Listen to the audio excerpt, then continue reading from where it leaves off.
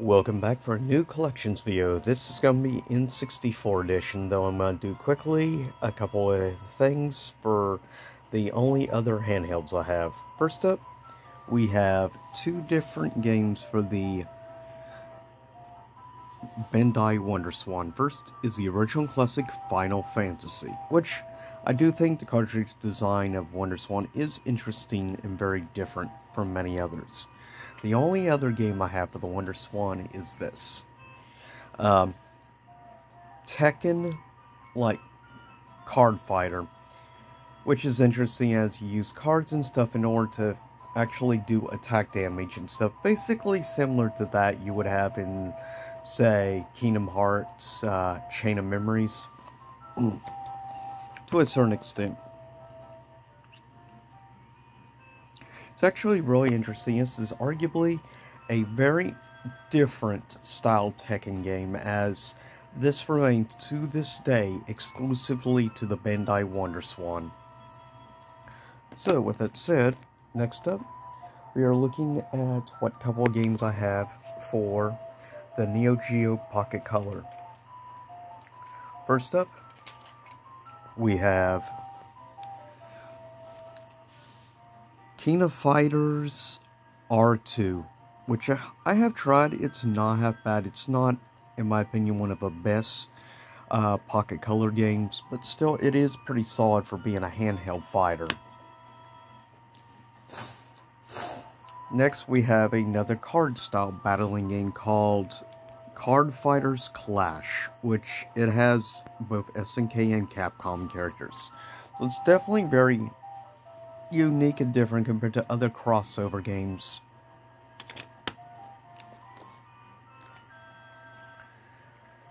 Next up, have Fatal Fury. Now, I'll be honest, I like this game a little bit more than the King of Fighters game. It plays pretty solid. Also, I do enjoy Terry in the game, and for it being a handheld 2D fighter, it plays surprisingly very well. Next, a pretty cool game to have on handheld with Samurai Shodown 2 Portable Edition. But definitely a pretty cool game overall. And honestly, I do recommend to anyone that has the opportunity to try out a Neo Geo Pocket Color, I do highly recommend checking it out, as you can still find them. Yeah, they are a bit pricey, but they haven't skyrocketed through the roof like the Neo Geo home consoles, like the AES. That's going for over a thousand dollars now. The CD on average loose is going for like around 300 but while you can still get this for like half that complete in box then we have some of the more interesting games. I will say arguably my personal favorite probably handheld Sonic game of all time is actually on the Neo Geo Pocket Color. Sonic the Hedgehog Pocket Adventure. It plays very well and honestly it plays better in my opinion than pretty much any of the Game Gear games, which is kind of sad. Second to last, we have Neo Turf Masters, which is arguably one of probably easily in my top five favorite golf games of all time. Seriously, Neo Turf Masters is awesome, and the fact it's a handheld early era golf game amazes me as how good this game actually plays. And it is also starting to go up in price, so I'm glad I got it when I did for a very reasonable price last, arguably the best, I would say, crossover game, at least on a handheld of all time. That being SNK versus Capcom, the match of the millennium, which is an awesome game, and like your ultimate final boss of the game is uh, Orochi Iori. But before that, you have to get past the combination of bison and geese, which is a nightmare in its own right. So with that said, now on to the N64 stuff. First up, we have we have Madden 2000, a definite classic from the fifth console generation. It's not bad. I do have a certain love and fondness for some of the earlier Madden games. Definitely solid overall. And may I add, the N64 cartridge design is probably one of my favorite cartridge designs. Next up we have pretty cool one of the only yellow cartridges. Uh, that being Tony Hawk's Pro Skater 2 as remains to this day my favorite Tony Hawk game. Though the best version of the game is arguably on the original Xbox 2X. But with that said, still, Tony Hawk's Pro Skater 2 is a superb game with a great soundtrack. And I duly high, highly recommend this game to any fans of like punk rock and nu metal and stuff of the time period when this came out. Nothing beat playing Tony Hawk's Pro Skater 2 like dual player against a friend or something in local co-op multiplayer and stuff like the early Tony Hawk games were just great all around and this was an era when I actually really liked Activision as well. Next up we have arguably one of my top probably three favorite racing games of all time. Star Wars Episode 1 Pod Racing. I love this this day, and I was happy when they did a, a full from the ground up remaster of this game, making it look better and run actually better overall. It's a fun game, and is arguably one of my favorite things to come out of Episode 1 The Phantom Menace, though I am actually a defender of Episode 1 and in general of the prequels, and I always will be. And this was one of the coolest things to come out of Episode 1, though I will say game wise. You got this as well as episode 1, the actual game, which I do enjoy quite a bit. But this, I put, I hold this in pretty high regard of racing games, along with probably a few other specific games like Hydro Thunder and a few others. Next up, having nostalgia for me from the Attitude Era was WCW NWO Revenge, and having right there on the cover art is awesome. Having Hollywood Hogan, Raven, Goldberg, and Kevin Nash. Definitely four pretty big names for really from I would say about 98 to 99 on specifically Monday Nitro was great. And overall, I've always had a, a real fondness for this game. It is pretty much still basically neck and neck is my favorite racing or wrestling game of all time. It's pretty much between this and No Mercy as my favorite. This is easily, though, the best WCW game that was ever released.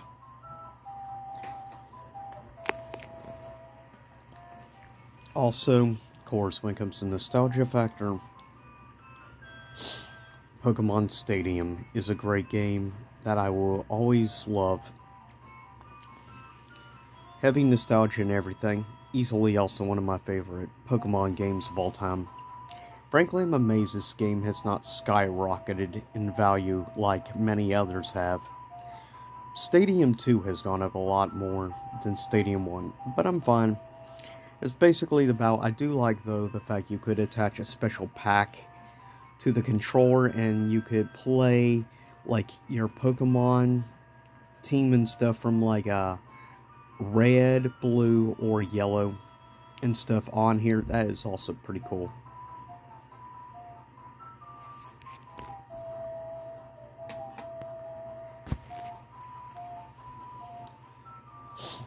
Next up, needs no real introduction. You hear the music in the background from it and that is The Legend of Zelda Ocarina of Time. Even though I do have a heavy nostalgia for the game, is still arguably not my absolute favorite Zelda game. Don't get me wrong, I like it, but I mean, I like a, definitely a few others over Ocarina of Time, though I still love it. And I will argue, though, it has one of the best soundtracks of the franchise as a whole. Now, from certain perspective, I would probably put Ocarina of Time around maybe fifth place or something for me personally. I like maybe Majora's Mask just a little bit more. But with that said, still, it does hold a very special place for me. Especially the music. Next up, we have arguably one of my top favorite games to come on the N64. That being, of course, Star Fox 64. A great fun on-rail slash platformer game. It was a very interesting hybrid style gameplay. And it took what started on the Super Nintendo and took it way farther and is arguably considered to this day one of the most iconic games for the N64.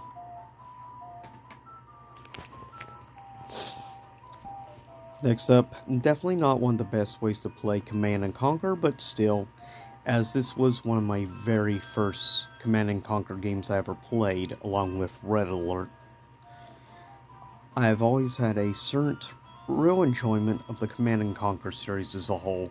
It's a great, fun, tactical style game. And really, for me, probably my favorite modern, like, strategy type game like Command and Conquer is probably Halo Wars.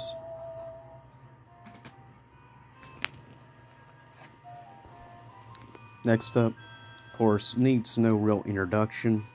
Star Wars Shadows of the Empire which is a great game, and I am kind of frustrated at times the fact this game has never received a remaster, and it deserves it. Shadows of the Empire is great. I love the story. I like a lot of the characters. There are definitely frustrating things in the game, but you kind of expect it of the time period. But I will still argue that it is one of the best Star Wars games ever made. Maybe that's blind nostalgia talking, but whatever. Also, don't want to forget 007 GoldenEye. Really, it was revolutionary and brought the PC experience to home console, and this really would be the game that would open the floodgates to many other FPS games. Though I will argue there was a spiritual successor, GoldenEye, I think, took what it did and ran farther with it. Plus, I like the post-apocalyptic futuristic world of it. Still, GoldenEye is great for what it is, definitely. For being such an early shooter and the fact gameplay is still fun to this day. Next up, the other Star Wars game that I really enjoyed being Star Wars Rogue Squadron, the beginning of a series that I've really always enjoyed and I keep recommending this game in this series to many people as it is still a very reasonable price series to collect. But Rogue Squadron is just a blast to play.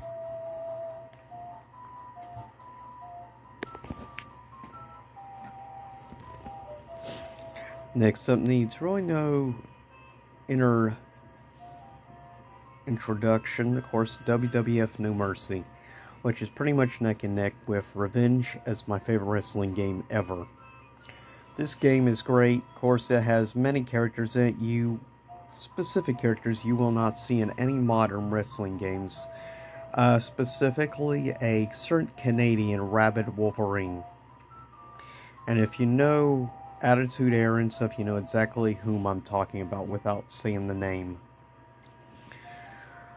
But with that said, this still remains a great game to this day, and I'm amazed actually how fun it still is. Plus, the fact you could also create your own wrestler is pretty awesome as well. Next, we have needs no real introduction. Killer Instinct Gold, and there you have on the cover Gargos. KI Gold, I feel, does not get as much love as it should, as for me, is probably my favorite fighting game on the N64 as a whole. to be fair, there isn't too much major competition of fighting games on the N64 to compete against, really, for gold to be the top game. There are a few that definitely are definitely heavy nostalgia. Even if the games aren't great, like next up we have War Gods, which was really a early era 3D fighter from Midway. Basically, this was testing out the mechanics and stuff that would end up being continued into the first full 3D Mortal Kombat game of all time. So I like War Gods for what it did. It was very different compared to many other fine games of the time. Even if it's not a great game. And speaking of the game, of course, that would be testing the 3D engine, which would later be used in Mortal Kombat 4. I think that personally 4 gets a way too much hate, and I don't, in my opinion, I don't think it deserves the hate it gets. I personally have always enjoyed MK4, though specifically the PS1 version is the better way to play. Even though this version doesn't have long load times, graphically, especially with cinematics and stuff, there's really no actual cinematic cutscenes, sadly because of the memory limitations on the N64 cartridge versus actual disc.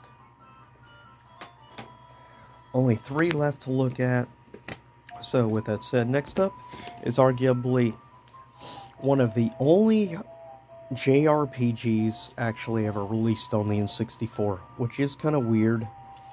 But I have a weird sort of like love for Quest 64. I feel it does not get near the love it deserves.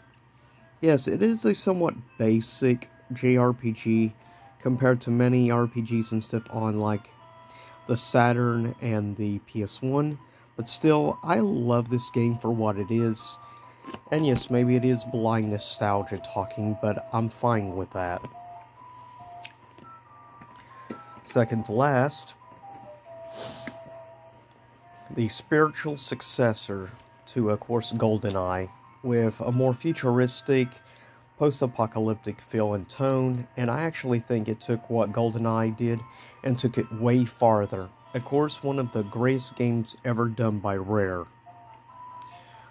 Uh, which, of course, if you may not know, Rare is arguably one of the few big names in gaming actually from the UK.